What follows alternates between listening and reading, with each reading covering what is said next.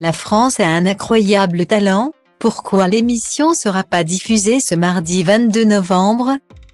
Il n'y a pas que Cyril Hanouna qui chamboule TPMP pour la Coupe du Monde au Qatar.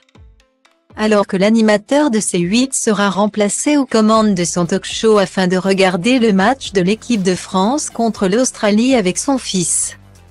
Comme il l'a annoncé sur Twitter, MC change aussi ses plans.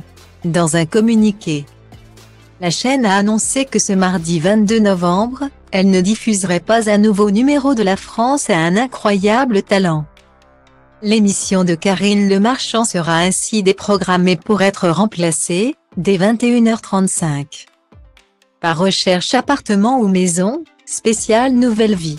Au total, trois numéros vont se succéder.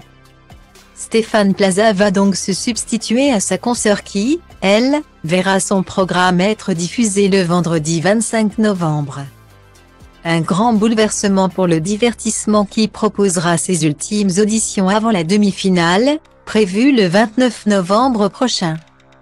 Comme l'explique Pure Média, M6 a choisi de changer ses programmes en raison du match des Bleus qui devrait bien battre tous les scores d'audience.